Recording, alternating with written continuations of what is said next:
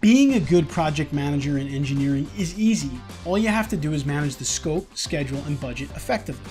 That's what people say all the time. However, they fail to tell you what the scope, schedule, and budget are, right? They don't define them, especially for younger professionals or soon to be PMs. And they rarely talk about the relationship between these three critical components of project management and how they really drive client satisfaction overall. So, in this week's video, I have with me Mike Lozanoff, project management extraordinaire, and we're going to dive into scope, schedule, budget, and how you can manage these three effectively and what it can do for you and your firm. Let's jump right in.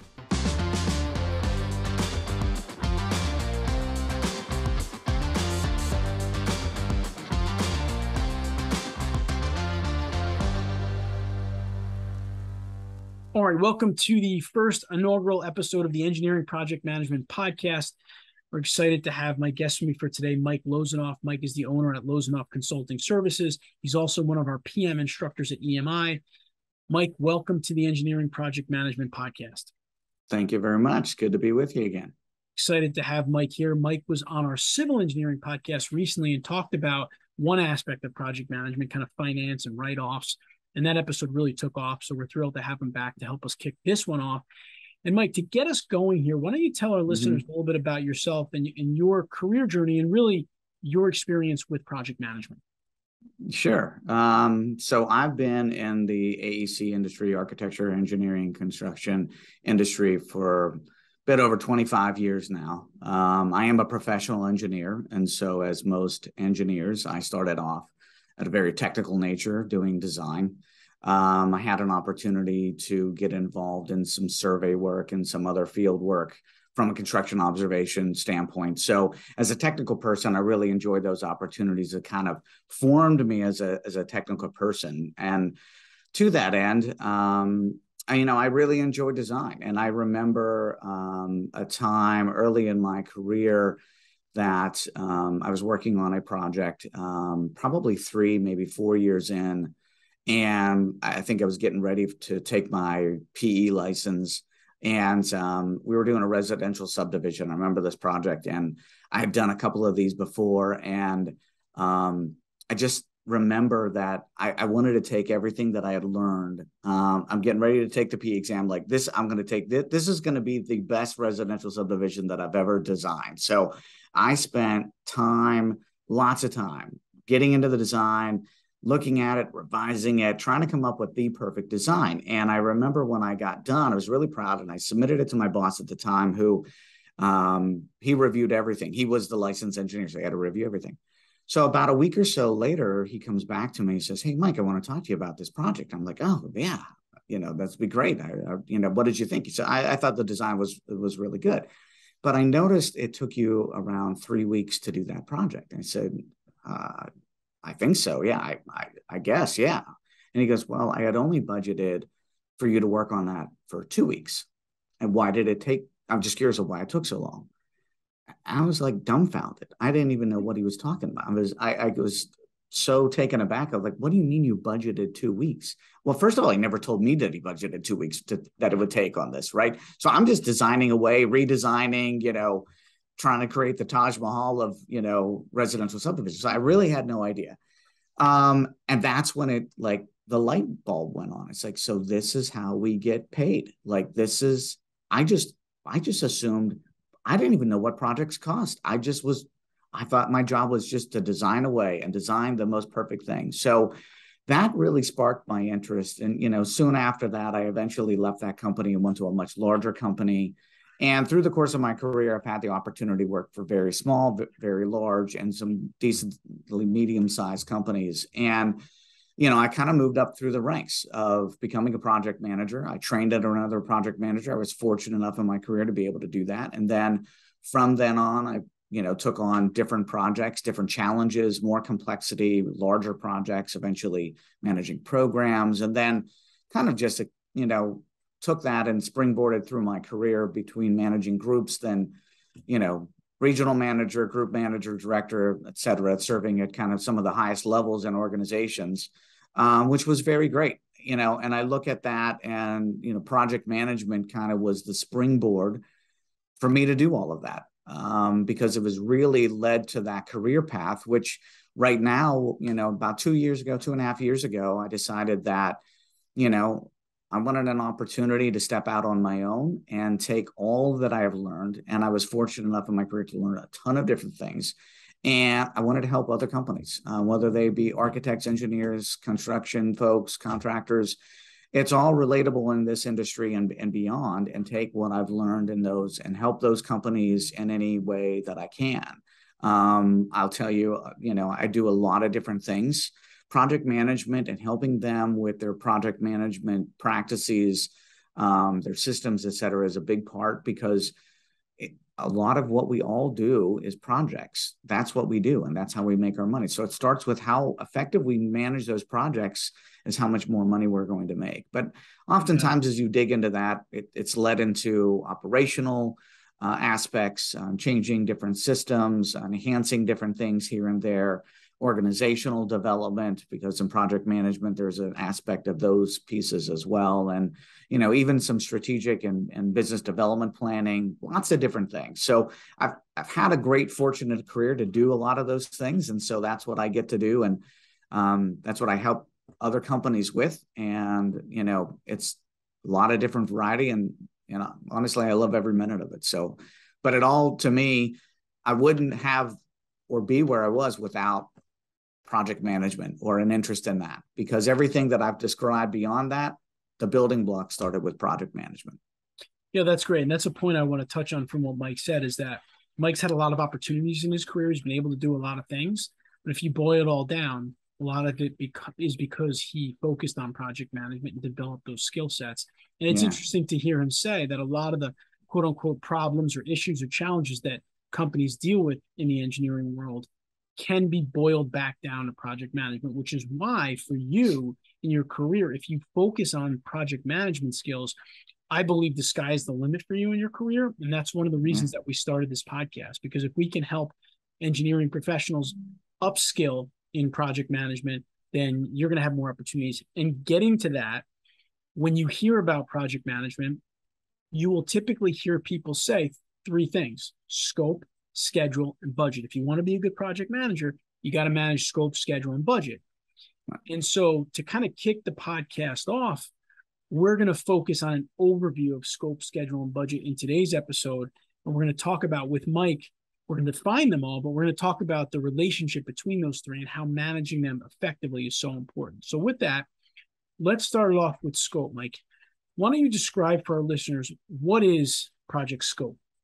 You know, when I think of scope, I think simply it just defines and sets the expectations for not only your client, but your project team of what exactly you're contracted to do and what you're not contracted to do. Um, and I guess let me use kind of two examples that I think are pretty relatable to most folks in our industry, which is let's talk about public work and private work and how maybe those scopes are kind of used in that sense. So, a lot of times in private work, in my experience of doing that, we're usually given our scopes via an RFP, a request for proposal, right, from our clients.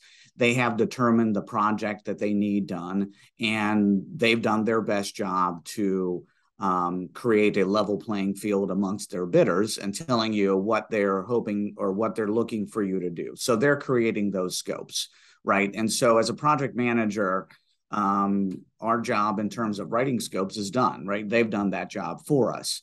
Um, how what I'll say though to that is um, just because the client has provided that scope to us, it doesn't mean that it's perfect, right? It came from somebody in the industry or maybe even not, and how they created that. And it's our job still to manage that project, right? So if we are afforded that or fortunate enough to win that job, and now we have to manage to that. So, as project managers, it is our job, and right there at the RFP stage, to really fully understand that scope. Is it understandable? Is it vague? Is it ambi- ambiguous? Um, and if it is, we got to want to respond to that RFP, right? We want to make sure that we're clearing up any of those um, things that are just left, you know, kind of open ended.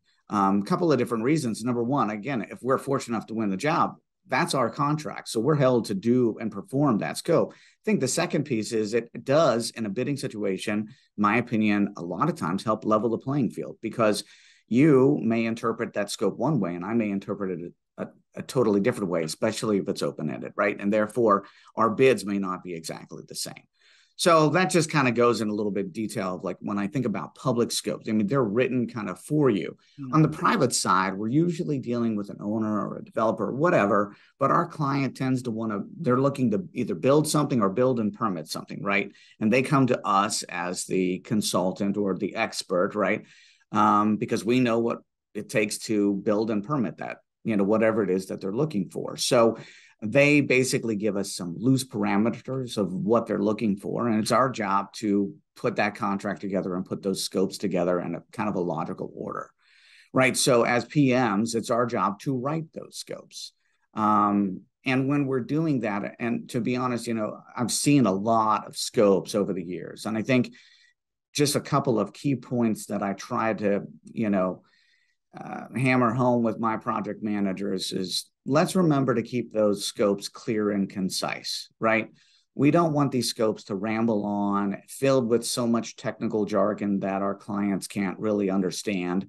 Heck, most of our staff probably doesn't understand, right? We're in an industry of acronyms, right? We use an acronym for almost everything, but we assume everybody just knows what that is, right? So spell out what we need to spell out and don't spell out what, what we don't, right? Um, don't leave anything vague.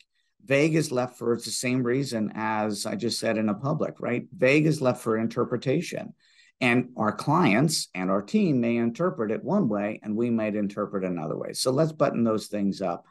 I think the other thing that we need to remember is they should be easily understood, like I said.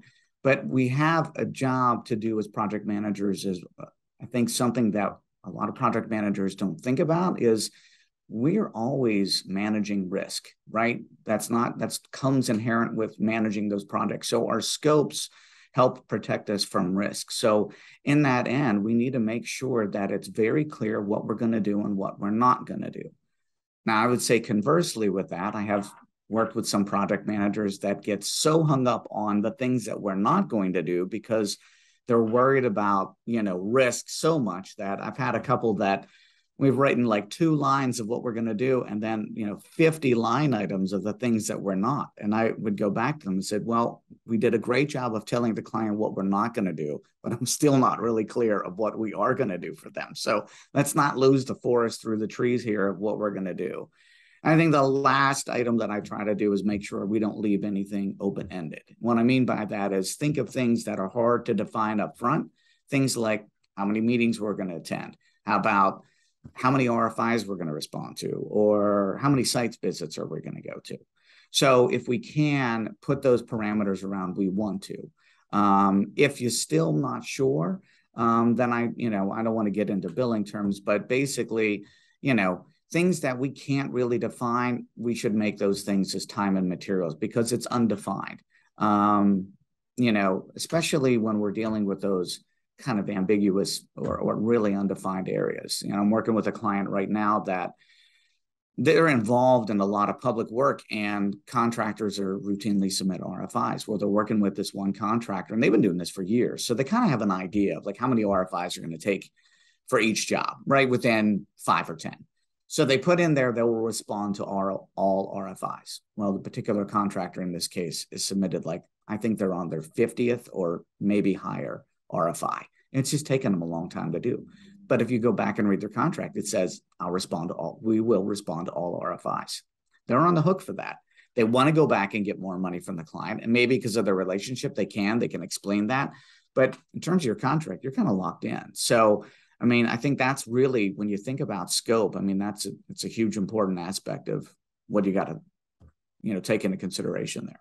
Absolutely. And, and on that last point, with that company, for example, they could have spelled out in the scope, we will respond to up to 25 RFIs right. and offer uh, RFIs. So when they got to that 10, they could then go to the client and say, hey, we completed 10 as per the contract. If you'd like us to review to more, we can give you a lump sum fee for another 10, or we can do hourly as many as or, and this type of thing. So, you know, you're putting the ball back in your court versus having it in theirs. Exactly. And like Mike said earlier, if there's anything that's vague, like respond to all RFIs, which in a sense is vague because all is can be, you know, 100 or can be 10.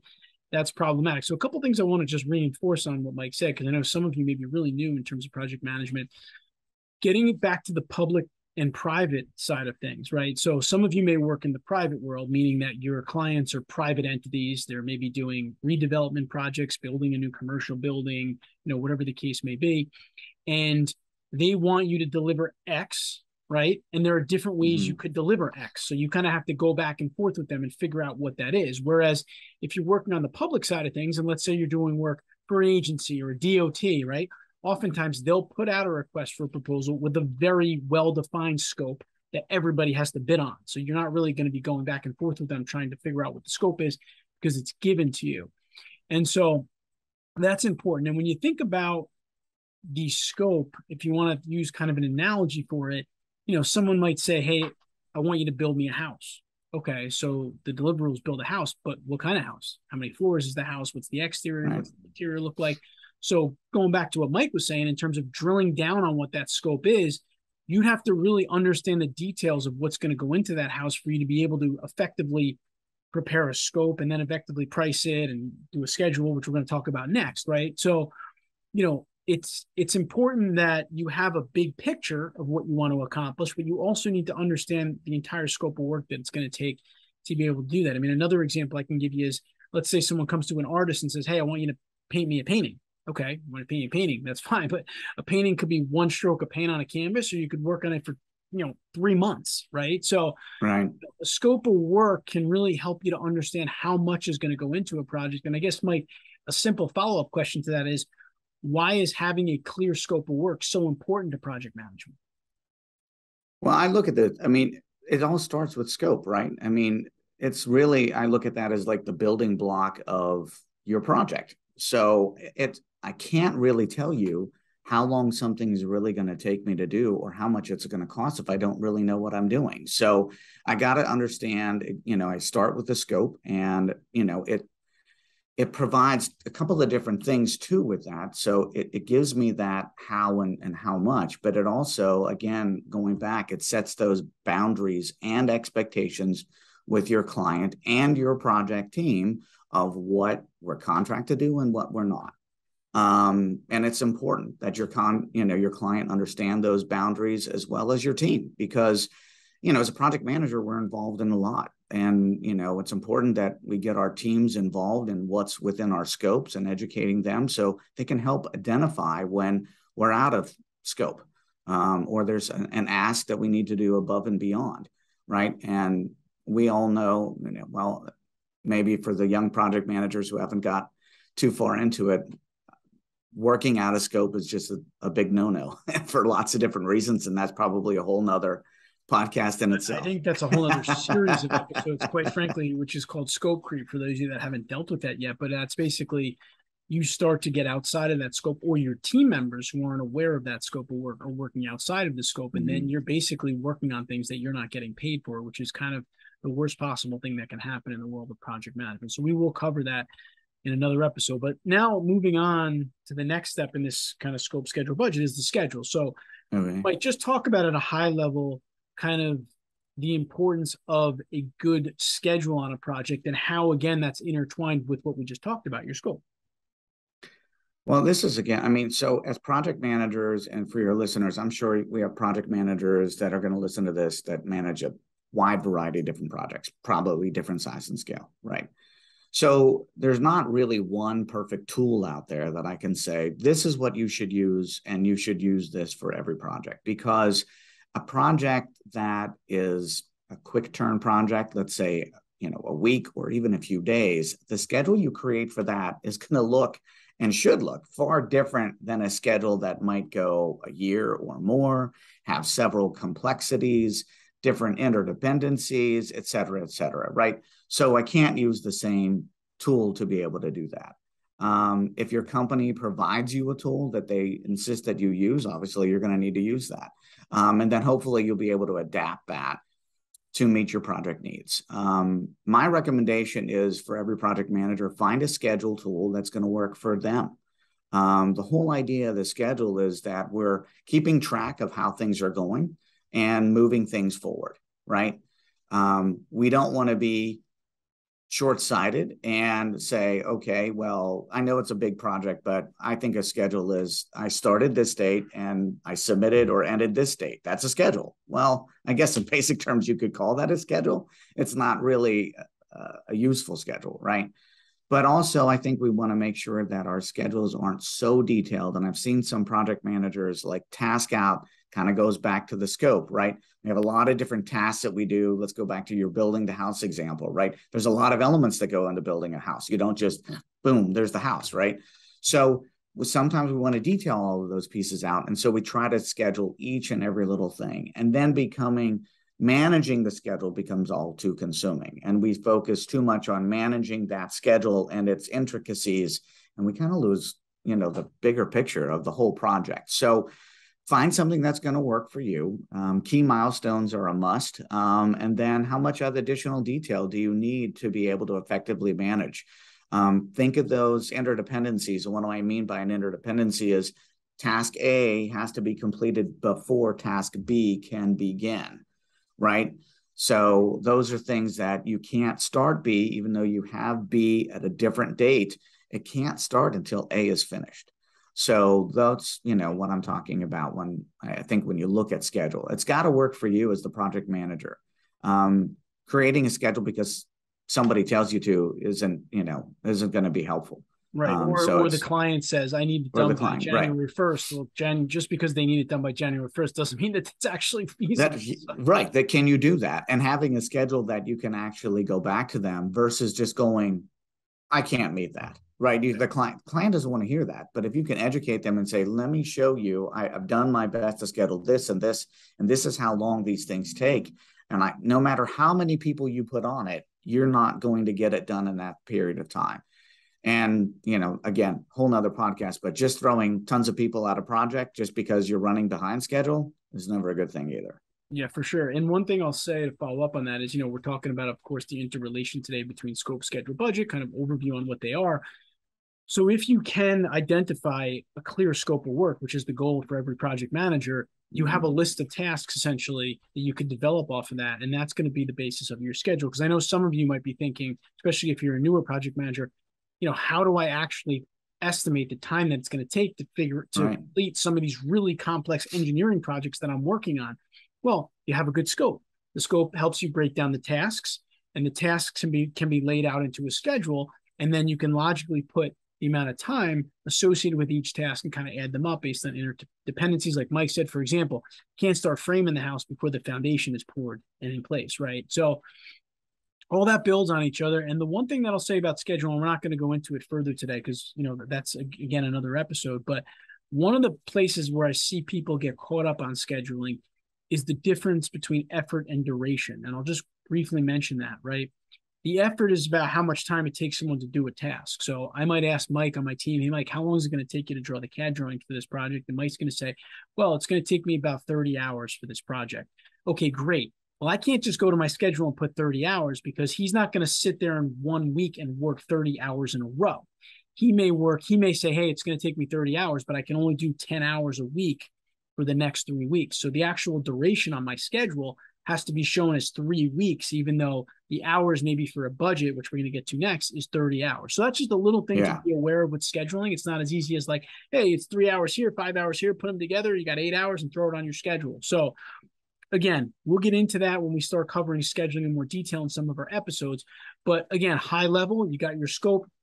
I'm going to take those tasks that you develop through the scope, put them into a schedule, which is really important because your client wants to know when their project is going to be done right? So as a PM, you need to be able to, you know, give them an idea of when that's going to happen. And then, of course, that takes us to our third leg of the so-called three-legged stool, which is project budget. So, mm-hmm. Mike, we've got the scope. We've got we can get a good idea of how long it's going to take, but also another critical component of the scope is, you know, being able to forecast what a budget's going to look like. What's a cost going to look like for a client? So, talk about you know, developing a project budget or a cost estimate. People call it different things based on the scope. So again, let's go back to that example we did a little bit earlier about the, the house example. So how long does it take us to do these things? So the scope defines exactly what we're going to do. And at that point, we should know how long those items are going to take. So how long will it take us to do the foundation, right? In our industry, no matter where we're working, um, we're a professional services industry. And basically how we build all of our fee is we each of us have a bill rate and we take that times the amount of hours it's going to take us to complete that task.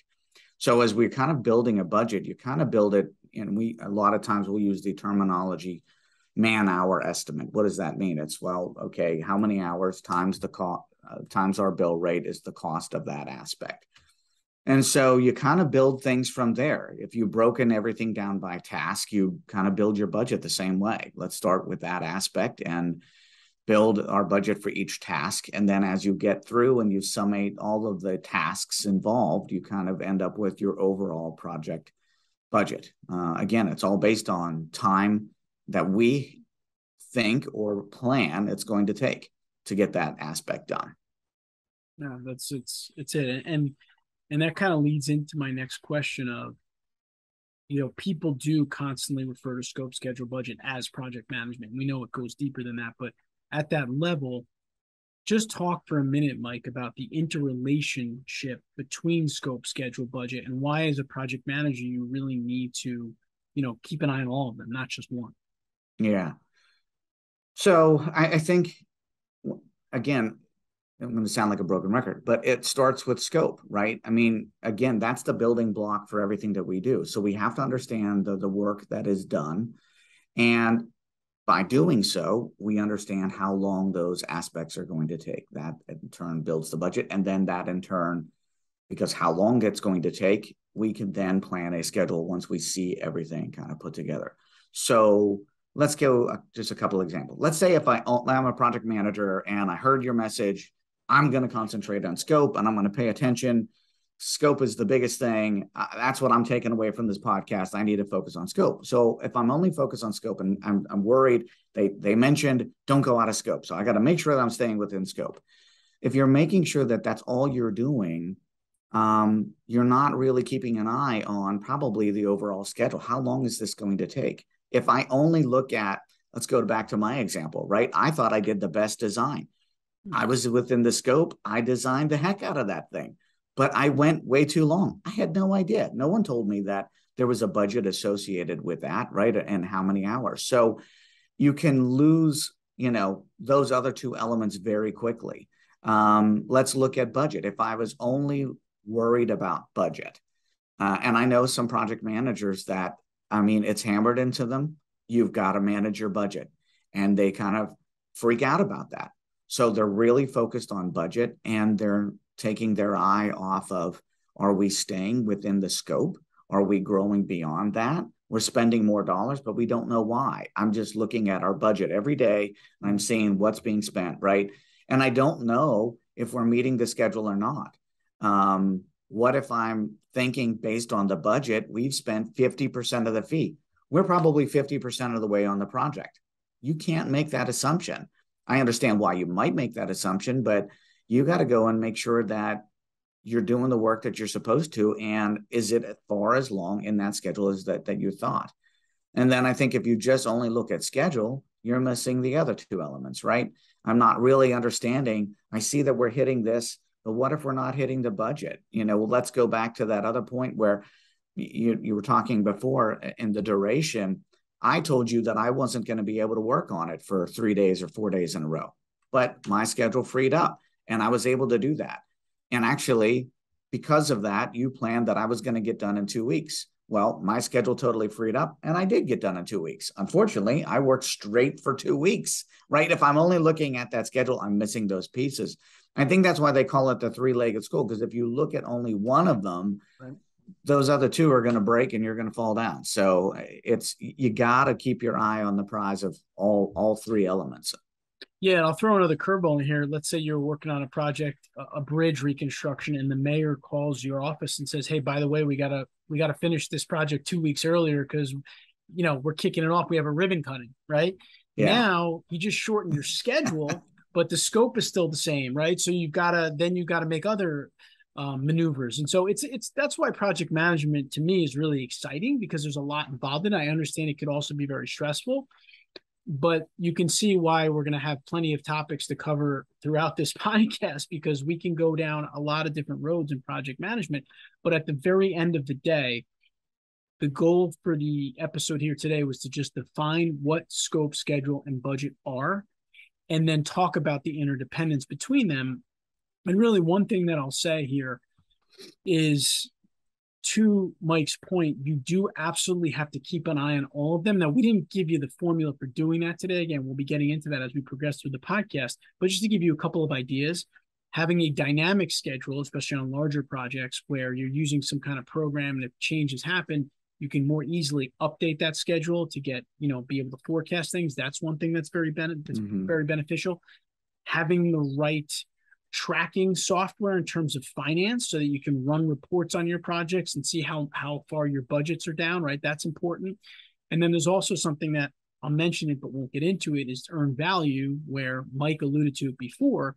If you've used up 50% of your budget that doesn't mean you're 50% done. You have to actually figure out if the work that you've done is actually 50% of the work that needs to be done. So there's a lot that goes into it. Yeah. We're not going to go down those roads today. The idea for today's episode was to give you an overview of scope, schedule, budget, why everybody says those three things when it comes to project management, and why they are a three legged stool. And we like to say at EMI that client satisfaction sits on the top of that stool, right? So mm-hmm. one leg goes a little shorter than the other.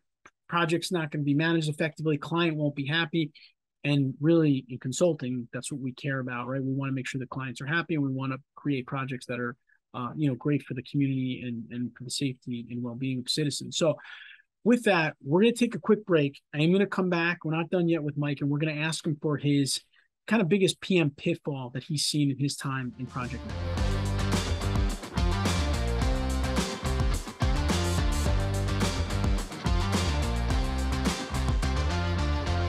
All right, we're back with Mike Lozanoff, owner at Lozanoff Consulting Services. Mike is also one of our PM instructors at EMI. We hope that we've given you a good overview of scope, schedule, budget, and the importance of managing the three of them. However, in this segment, this is our PM pitfall segment of the podcast where we ask our, our guests, Mike, what's the biggest PM pitfall that you've identified, and how would you recommend overcoming it or avoiding it for those PMs out there? I mean, I've worked with a lot of PMs over my course of career, um, and I think one of the the biggest pitfalls that I see is project managers focusing a bit too much on the technical aspects and trying to get that transition to understanding now you're the project, you're the manager of those. Um, it's fully understandable. We came from a technical background, right? And and that's how we came up through the ranks and that's what we're good at. That's what we know. And a lot of us aren't trained on these other aspects. Um, again you know some people have been thrown into project management. I need you to manage scope schedule budget. And they're like i, I don't even know what that means. But they're excellent at managing their craft of, of the technical aspect.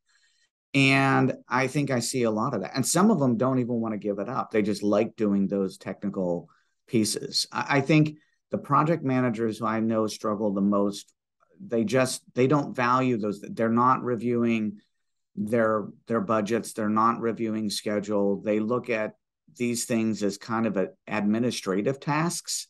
Like i don't know why that they're important. To them the biggest importance is a quality project. And yes as a project manager you still got to deliver a quality project. That doesn't go away. You don't get absolved from that anymore. These are things that are added on and it takes a unique person to be able to actually carry those you know those through. Um, the people that look at those things and i know you know we're as your podcast kind of continues we're going to give a lot of people a lot more tools and a lot more understanding of how you manage these things scope schedule and budget a little bit differently or or more effectively right? But um, the people that do that on a regular basis have had far much more success on the outcomes of their projects than folks that just don't like it or they're just not comfortable with it or maybe they just don't you know they're unsure of themselves in that aspect and so they prioritize that much less And I call that like the hope and pray method. Like at the end, we do the project and okay, how did we come out? Scope, schedule, and budget. I hope good because I wasn't really paying attention to that. But look at this great product that I designed, right? So I think that's the biggest pitfall is you gotta, how do you transition from technical person to project manager? And, and what do you need? What are the skills that you need to be able to do that? And you got to work at them. Uh, it just doesn't come, right? Yeah, for sure. I mean, listen, one of the you know when we do pm training in our first session we talk about the transition from a technical professional to a project manager and i think the biggest difference is that you have to start to think about your projects as a business you know one of our mm-hmm. other instructors and tom lavage likes to say you're the ceo of your projects at that point and i think that's a good way to that's, put it that's a good point yeah right? you have to right? think of it that way because that's not what we think of and what i can tell you right now for those of you listening is if you struggle with this you're 100% normal because right. because as engineers when we start our career we are told do calculations run reports um, you know this is oh, what yeah. this is what you're meant to focus on this is what our brains are analytically trained from undergraduate right in, into the beginning of our careers so when all of a sudden one day somebody says hey now you're responsible for managing the project so forget the technical stuff let someone else do that you focus on the scope schedule budget you're like I don't eat. That's not comfortable for me. It's not. I built right. up habits of doing this forever, so now I'm uncomfortable. So it's okay, but there is a transition that you'll have to go through to become a successful project manager, and we hope that mm. your firm will help you with that. A lot of times when we get called into a company to, to develop a PM program, we interview project managers, and unfortunately, a lot of times what we hear was, "I kind of fell into project management." right? Because they needed a project manager, but I was never really given the skills or tools to be to manage the scope, schedule, budget, and effectively. And so, you know, it's all about education. However, just know that if you're uncomfortable, if you're stuck in the technical stuff like we're explaining, it is normal, and you're going to have to step back.